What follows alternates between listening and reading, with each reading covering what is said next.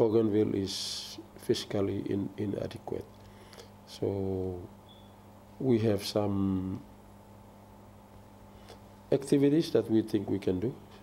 Firstly, we need to find out just how much budget is actually coming in from the national government.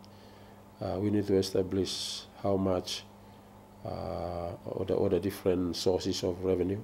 There are, at the moment, I think seven sources of revenue that we have identified. One is, of course, the money is coming from the national government to the ABG. Secondly, is the money is coming to the four national MPs. Um, that makes it two, three, four, five. And then we have the funding coming in through the eight donors. That's six and seven through the uh, non-governmental organizations. With the government funding, uh, we need to establish how much of the budgeted, what proportion is actually coming in.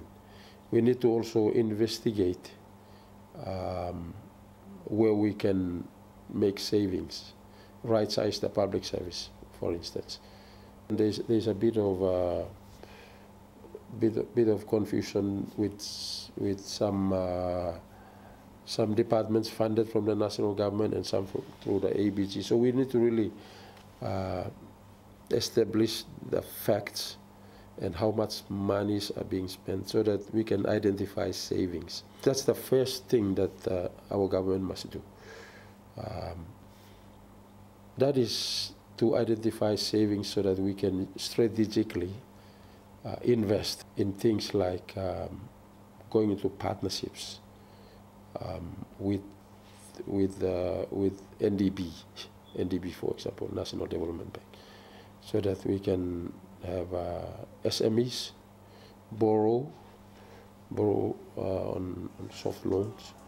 But firstly, we have to identify the the monies, create savings, uh, and then that's extra monies we use to grow the economy.